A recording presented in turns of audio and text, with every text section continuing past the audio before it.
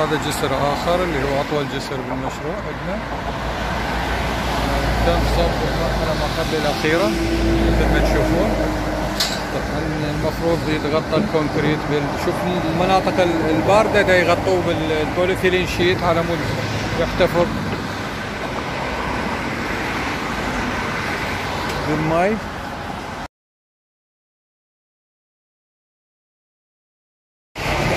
تشوفون هنا ستيشن عندنا اثنين بيم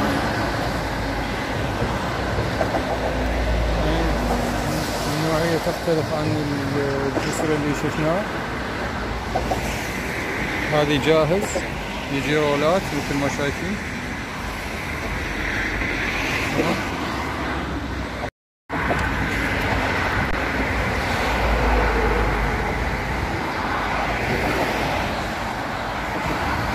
طبعا يجهزون هسه مطارات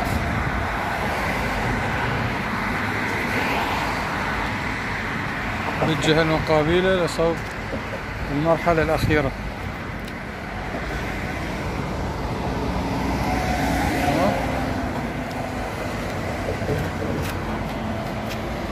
هناك بالجهة المقابلنا يجهزون المطارات. اثنين. شوفوا راح اقرب لكم اياها زوم الطرف والاخر يربطون بها الشتر ويسحبوه للمرحلة الأخيرة. تمام؟ أوه. طبعا تجهيز لأعمال ال grouting مثل ما شفتوا ال post tension أكو قسم آه تابع للمرحلة السابقة هاي المصبوبة نعمل لها grouting أما هذه لسه المرحلة الجديدة اللي انصبت عملية تجهيز لل grouting تتم. مكان وهذه الدغيسة على مود عملية ال grouting تكون ب level واحد الأجهزة أو الهوزات وما تأثر على الضغط. هنا الجلايات آه لتنعيم سطح. ال deck slab هذه الأعمال. ال waterproof تمام؟ هذه الماكينة. أعمال ال post tension. وال grouting grouting هسه نشوفها الخلاطة هناك. هذه أعمال ال finishing أو ال surface أو الصب. تسوية سطح الصبة على عرض الجسر. تجي؟ تمام. هذه الفايبريترات ال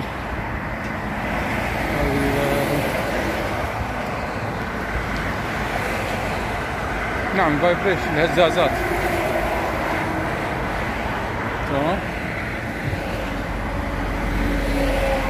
وهذه خلاطات ال grouting أو ال mixers. تمام هاي ال post tension حديد. هنا مثل ما تشوفون على جانبين الجسر. أعمال waterproof عدة طبقات.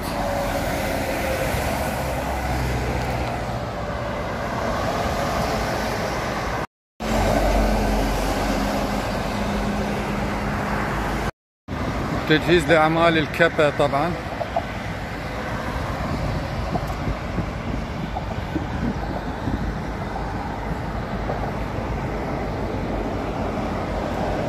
هذا ال material. pitch board و pitch يمين جسر طويل. منظر جميل. جانب الجسر منظر كلش حلو. شوفوا منظر روعة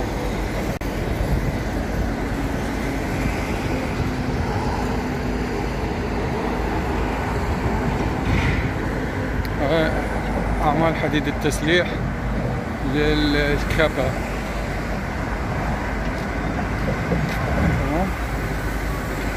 هسه نشوفكم ال expansion joint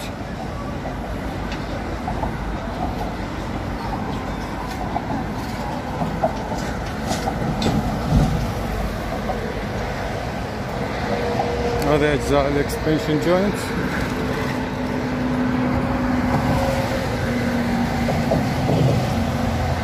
عملية التركيب منتهية من هذا الطرف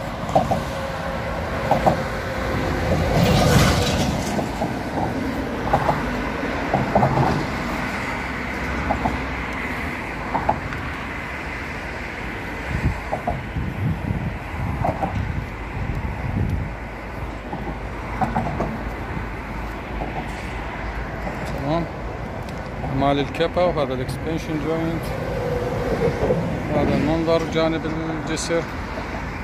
وذاك جسر آخر. هناك عندنا جسر صغير يعبر من فوق نهر.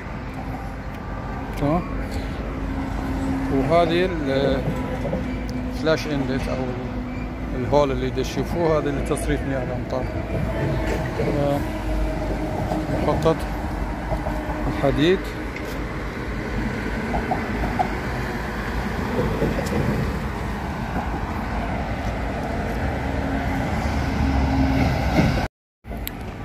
شوف اخوانا إحنا فوق ال abutment هذه ال abutment اللي هو بين ال abutment وبين ال deck slab يجي ال expansion joint مثل ما شايفين.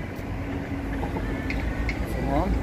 وهاي الكيب هنا عندنا الشتر منزلق. يعني آه، بس يصب هاي مرحلة. أيضا راح ينسحب للمرحلة اللي بعد بنفس طريقة صب الجسر حيصب الكبة تمام؟ تحياتي لكم المخطط الحديد اللي شفناه أخوان على مود يركبون هذه القواعد ويا داخل ال Kappe. ومن ثم تركيب ال Lärmschutzwand. تمام؟ هذه القواعد قواعد ال bolt ات يعني. مكان عمود يشد به البرغي يتركب عليه ال Lärmschutzwand بالكامل. يعني يتركب ال H beam وبعدها تنزل آه ال panels ما أعرف شلون بتسموها اللي هي القطع الخاصة بال آه جدار الحماية من الضوضاء. تمام؟ بس نشوفكم ال shutter ال slide أو المنزلق لل Kappe يبين من هنا تمام نشوفها من قريب أيضا.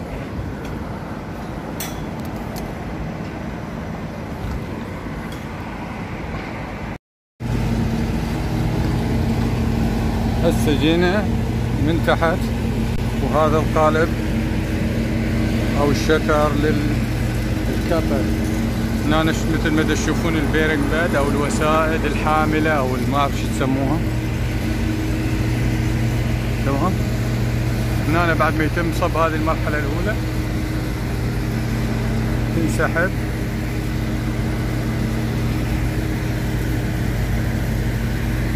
صب المرحلة الثانية. من الجهتين طبعا. بس نروح الجسر الآخر.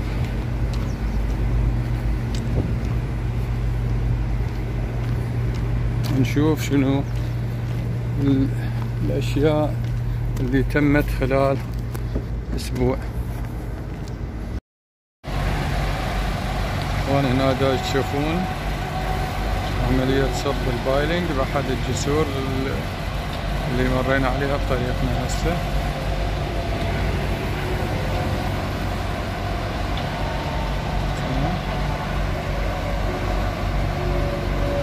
جسر صغير هذا.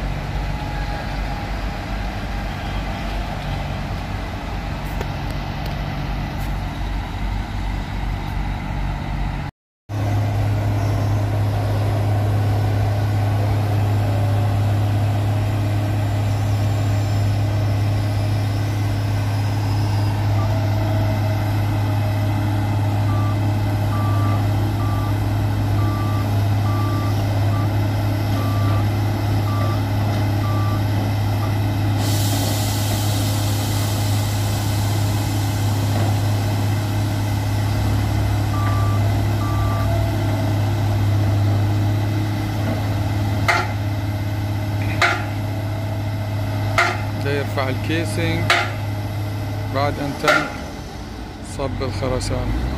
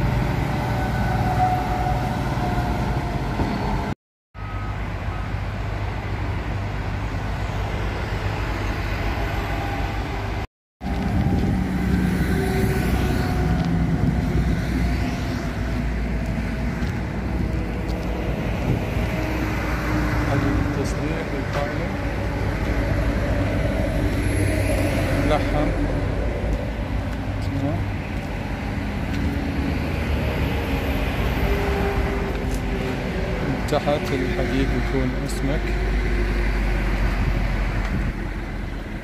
أو الدايمتر أكبر.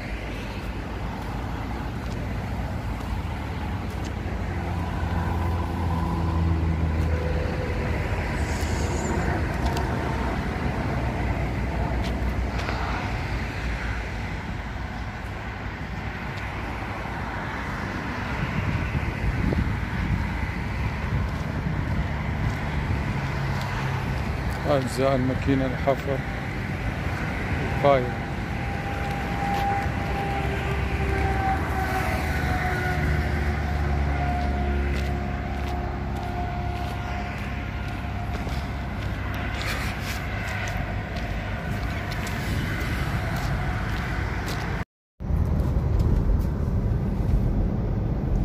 هذا الجسر أخوان من الطرفين راح يتم دفانه راح يصير مثل النفق. هذا الجسر يربط بين الغابتين اللي على اليسار وعلى اليمين. مخصص فقط لحيوانات الغابة. حيكون مثل النفق. المفروض بقت المرحلة الأخيرة. نطلع نشوفها بعد شوية إن شاء الله.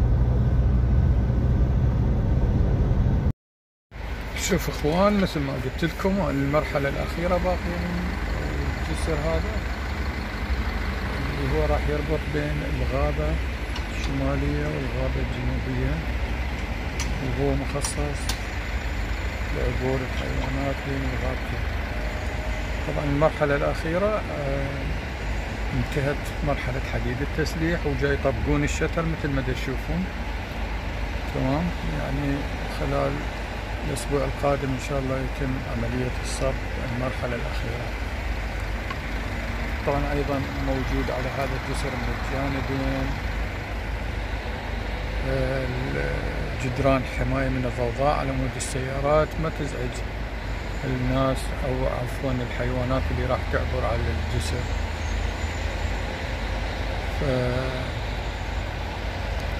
تفكر يا رعاك الله. آه أستغفر الله العظيم. تمام.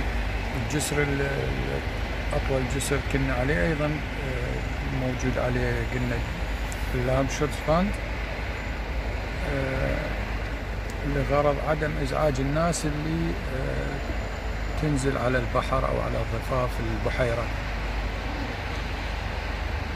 فالسيارات اللي تعبر فوق الجسر ما تسبب لهم إزعاج. هذه بس تخلص هاي المرحلة الأخيرة تبدأ عملية الدفان الجهتين ويصير بالضبط كأنما نفق يمر من تحت تلة من خلال تلة خضراء طبعا راح تنزرع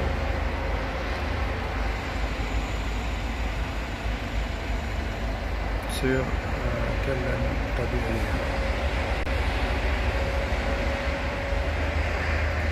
التسليح انتهى بانتظار عملية الصبر طبعا الشتر أيضا كان سلايد أو منزلق بكل المراحل. المرحلة الأولى الثانية الثالثة الرابعة الخامسة السادسة والسابعة سبع مراحل. تنصب هذا ال deck؟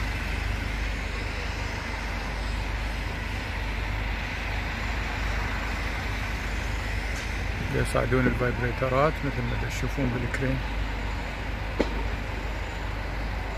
يجهزون عملية الصب. أهم شي ال vibrator. يجي أنواع من الجسور القوسية. وأكو فتحات بال shutter من الجانب. أيضا.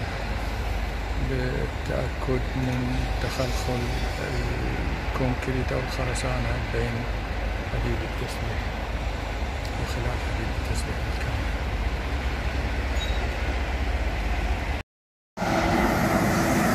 مال waterproof مظبوط hello hi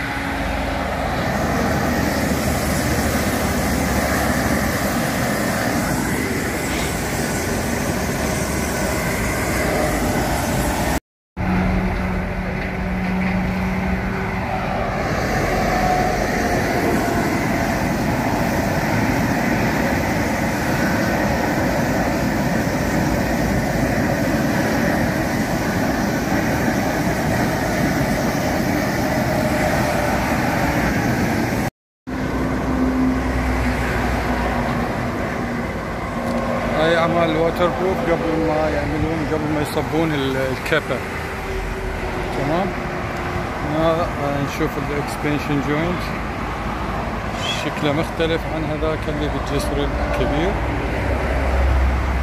شلون يشبكوا ويا حديد التسليح مال ال deck slab تمام؟ هذا الرابر أو الوتر ستوب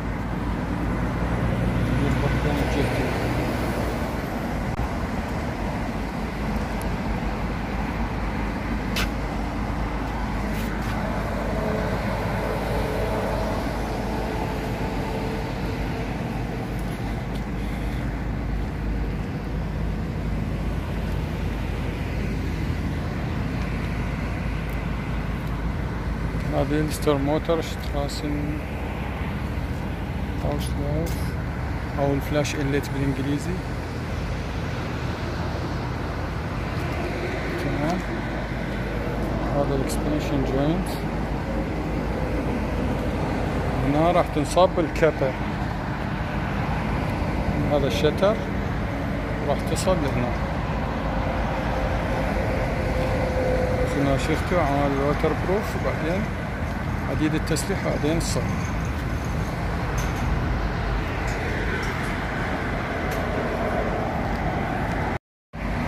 شوفوا من جهة ال abutment هذه من هنا. بعد ما تم شد ال post tension وعملوا له grouting يتسكر ب shutter هذا وينصب تمام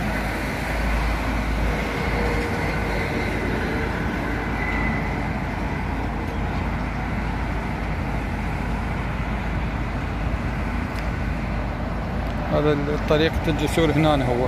بالضبط بهاي المكان الجسور هذه يرفعون ال deck slab وبعد ما يعمل ال post tension ويصبوها وترجع تنزل بمكانها ويا ال abutment اللي هي من هذا الطرف. ال abutment ومن هذا الطرف ال deck slab واللي يربطها ال expansion joint